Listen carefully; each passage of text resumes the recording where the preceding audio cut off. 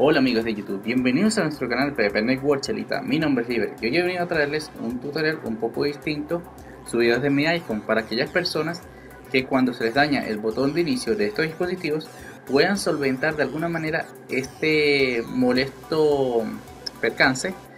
Bueno, eh, antes de llevarlo a un servicio técnico, obviamente, lo primero que debemos hacer es ir a donde dice ajustes, presionamos, luego bajamos y buscamos donde dice general.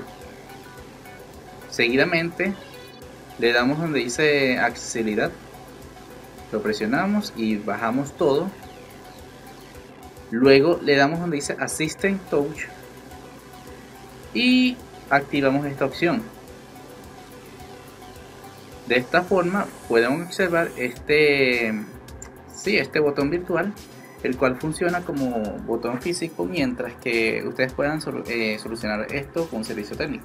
Eh, lo presionamos, le damos inicio y como podrán ver funciona muy bien. Eh, podemos hacer una prueba, podemos ir a, no sé, aquí hasta el reloj y nos salimos de acá.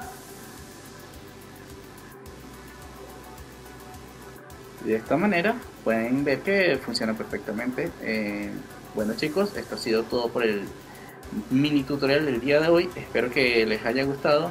No olviden darle like, compartir el video y suscribirse al canal.